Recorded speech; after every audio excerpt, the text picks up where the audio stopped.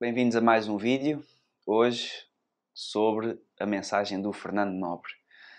Para quem não sabe, o Fernando Nobre é um ex-professor universitário, político, foi, nasceu em Luanda e cresceu num liberalismo tremendo, tanto que se filiou depois mais tarde na maçonaria e, e viria a desenvolver toda a sua carreira com base nesse pressuposto maçónico de subversão moral e social. Ainda que eh, como é óbvio, como qualquer bom maçom, a maçonaria é uma sociedade secreta, ou foi uma sociedade secreta que teve a sua influência na, na sociedade. Hoje em dia, claramente, pela mensagem que o Fernando Nobre um, ehm, enviou ao país do seu canal de YouTube, ou foi um vídeo privado que ele fez de 20 minutos, que é um vídeo muito bom, aconselho a verem.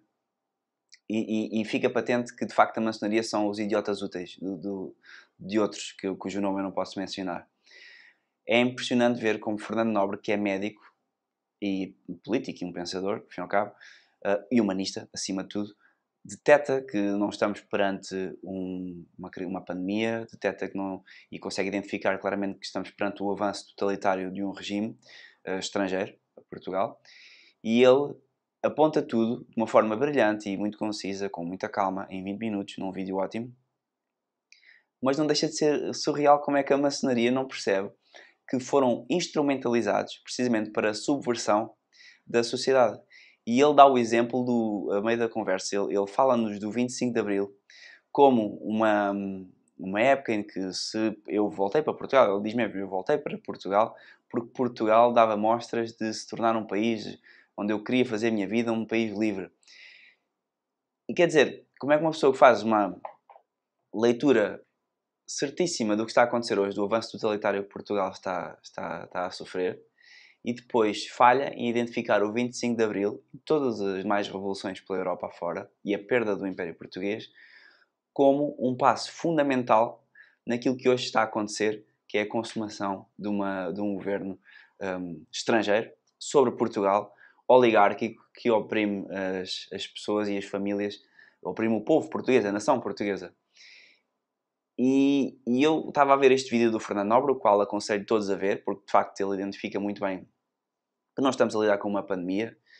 E, e ao mesmo tempo fiquei muito triste porque se percebe que de facto este homem entra para a maçonaria com enganado, porque o que a maçonaria e todas as sociedades secretas, para quem não sabe, vão pesquisar sobre o Adam Weishaupt, foi o tipo que fundou os Illuminati e ele, quando funda os Illuminati, a primeira coisa que ele faz é um método de recrutamento e de acompanhamento das pessoas, desta elite, muito à semelhança daquilo que são os exercícios espirituais de Santo Inácio. O que ele vai fazer com as pessoas é descobrir o pior dessa pessoa e ao contrário de Santo Inácio, que faz uns exercícios espirituais para libertar a pessoa do pecado e do, e do homem velho, o que estas sociedades secretas fazem é descobrir os podres da pessoa e o, e o que a pessoa faz e, e fez e envolvem a pessoa nessas paixões. Ou seja, a pessoa se é viciada em sexo, eles vão muito por aí. Se a pessoa é viciada em dinheiro, se a pessoa é viciada em ideais humanistas, eles vão buscar a pessoa precisamente no gancho que, faz essa pessoa, que motiva essa pessoa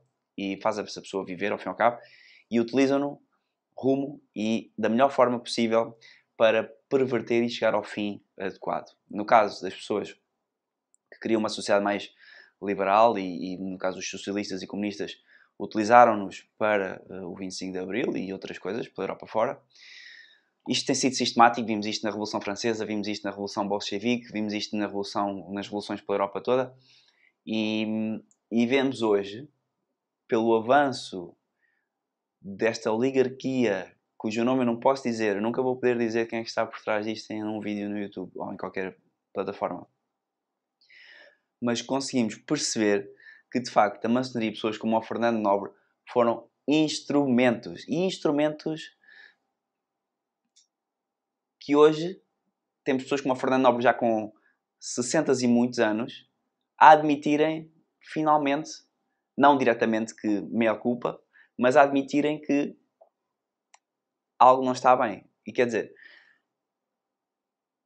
e eu tenho pena de, de, destas pessoas simplesmente porque agora não são crentes, não são católicos, não são pessoas que. Um católico acredita que, de alguma forma, Deus quer a salvação de todos, por portas e travessas.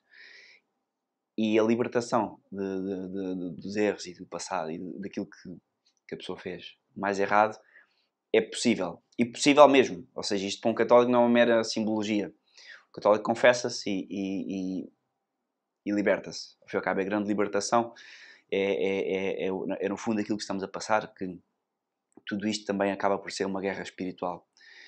E é, e é, muito triste ver hoje em dia pessoas como o Fernando Nobre e há outros. Infelizmente, o Fernando Nobre é dos poucos que fala porque já tem 60 e tal anos, já tem a sua carreira, já não precisa de viver com uma profissão. Hoje em dia, o que eu noto é que muitas pessoas sabem destes temas e não falam sobre eles porque têm medo de repercussões profissionais e sociais.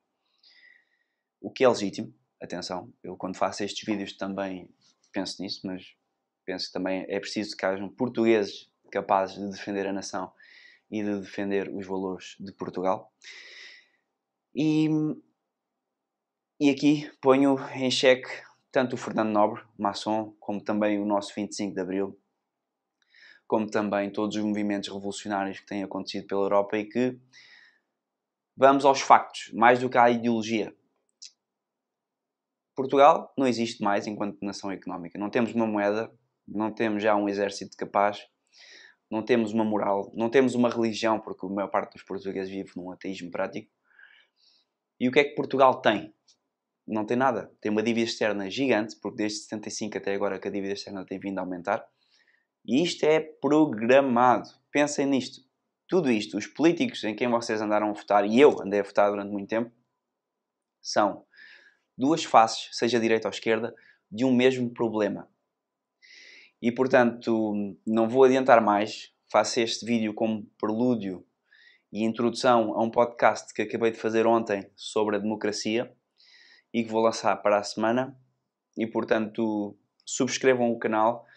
Um, para a semana sai um podcast de mais ou menos duas horas com duas pessoas formidáveis que deram, demos aqui uma chega no que qual foi a evolução e qual foi basicamente o destino de Portugal desde não só desde 75, mas também desde a da queda da monarquia. Acho que nenhum de nós é diretamente monárquico, mas somos portugueses acima de tudo. E não se consegue dissociar o português de duas coisas: monarquia e religião católica. E isto é uma coisa muito fundamental que, infelizmente, Portugal perdeu. Perdeu pela subversão de Fernando Nobre e outros. Fernando Nobre, como é óbvio, é só uma peça nesta, nesta equação toda. E o que eu venho exortar aos portugueses que ouvem isto é sejamos portugueses. Portugal foi um país que sempre foi ao mundo. Portugal foi um país que se deu a conhecer ao mundo e que deu o mundo a conhecer ao, ao, aos outros sítios. Portugal levou a culturalidade europeia à Índia, ao Brasil, ao, ao Japão e, e à Ásia, ao fim e ao cabo. E somos, sempre fomos um país multicultural. Portanto, nós vamos ser um eixo fundamental, um eixo fundamental para combater um, toda esta revolução cultural que está uh, em curso. Vamos ser um eixo fundamental porquê? Porque ninguém pode apontar a Portugal o facto de não sermos inclusivos ou de incluirmos todas as culturas, o facto de não sermos um país que levou civilização, língua, matemática, português, não, português mas uh, arte, no sentido da cultura, a todo o mundo. E trouxemos muitos povos, tirámos muitos povos de uma de um Estado civilizacional subdesenvolvido. E, claro, houve erros, há sempre erros nos processos civilizacionais, mas Portugal não pode ser nunca um país a quem um socialista, um comunista ou alguém pode apontar como um país xenófobo ou como um país que não tem uma alma, que é a alma da Portugalidade, que todos nós portugueses sabemos o que é, mas que não podemos hoje em dia expressar, infelizmente. E portanto, é bom começarmos a ter esta noção de que portugueses parem de entrar no jogo democrático de, atual, que é um, uma armadilha, e sejamos portugueses a sério. E, e, vamos, aos poucos, com toda a prudência que é preciso ter nestes tempos, porque vivemos tempos conturbados.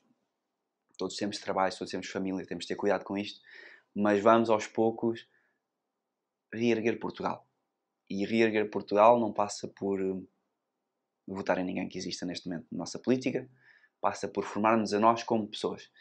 Veja o podcast que eu fiz, vai sair para a semana, portanto, neste momento subscrevam o podcast e o, o canal e depois vão poder então ver o, o, ouvir o podcast e vamos estando juntos nesta luta.